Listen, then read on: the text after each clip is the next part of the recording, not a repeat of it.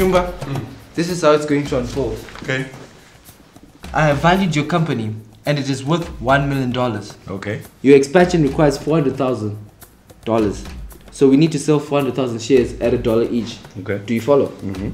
So we are going to create 1 million shares valued at a dollar each. This means you have to sell 400,000 shares to raise $400,000. Okay. That leaves you with 600,000 shares, making you the majority shareholder at 60%. Okay. As long as you're not saying I have to raise $600,000 because I don't have that kind of money. No, no, no, no, Mr. Shumba. 600,000 is 60% the value of the company. Okay. The one that you remain with, that is the value of your input in the company. It's called sweat equity. And the new uh, shareholders raised the uh, $400,000 in cash. Yes. After all the paperwork was done, Mr. Dube helped my husband find the potential investors. Together, they went around talking to potential individuals.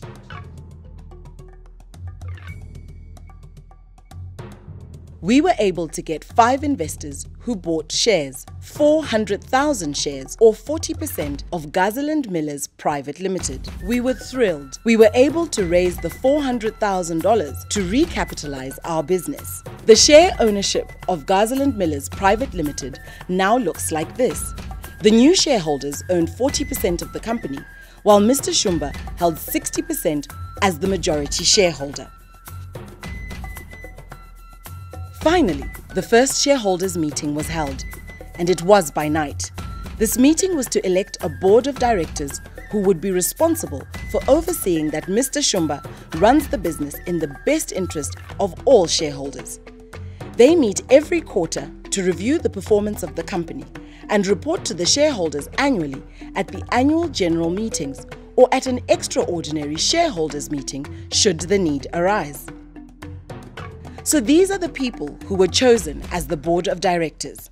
They immediately set out to establish broad policies and objectives, overseeing how my husband runs the company, ensuring the availability of adequate financial resources, approving annual budgets, accounting to the shareholders for the company's performance, setting the salaries and compensation of company's management, determining the amount of dividends to pay to shareholders from the company's profits, as investing shareholders hope to receive dividends to compensate for the risk they take in investing in a business.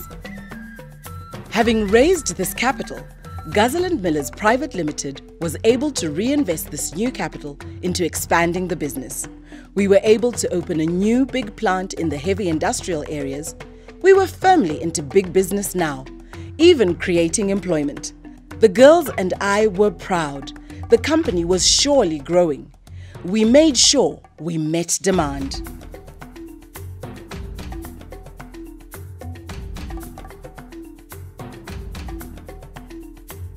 With the success of the business from the first round of capital raising, Mr. Shumba developed the confidence to grow even bigger, raise even more capital to run an even bigger milling plant. Thank you for agreeing to see me at such a short notice. No worries, Mr. Shumba. As your investment advisor, I'm available for you. So I'll make this quick.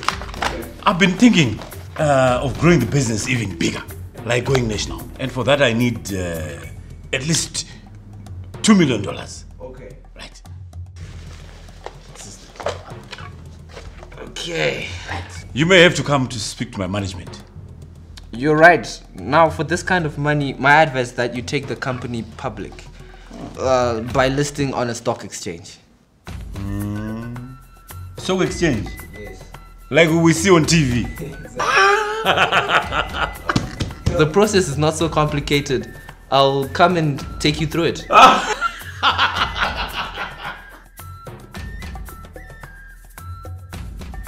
Mr. Dube is explaining to Mr. Shumba and his management team. So, listing on the stock exchange allows you to raise capital by selling shares to members of the public.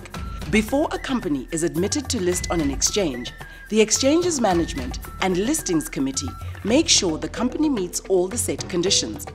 For instance, to be admitted on the stock exchange, you need to have a minimum number of shares in issue. At present, that is, no one should have no less than 10 million shares in issue. You also need a satisfactory profit history a minimum shareholder spread that is the proportion of the shares that are being held by the public, and then also that the number of public shareholders should be more than the specified minimum. The Exchange and the Securities and Exchange Commission will also set up minimum disclosure levels and review all documents to be used for marketing the shares.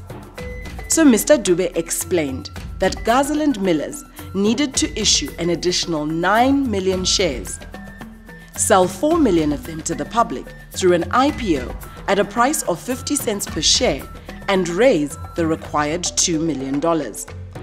The remaining 5 million shares will be distributed pro rata to Mr. Shumba and the original shareholders. The management team agrees.